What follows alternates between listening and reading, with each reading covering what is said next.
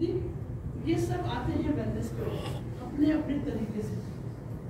काम तरीका करने का अलग अलग है लेकिन मकसद ओके नेक्स्ट रीनर फ़ंक्शन बेहतरीन रीनर फ़ंक्शन इम्प्रूवमेंट है।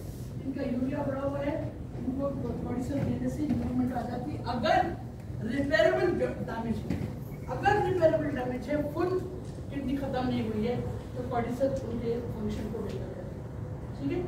गलत प्रोपेगेंडा नहीं, कि ये प्रोडक्ट जो है ये फेलियर से निकाल देती है, दिन को बदल दे देंगे जगह को तबाह कर देंगे, आदमी खड़ा हो जाएगा, ऐसा नहीं है।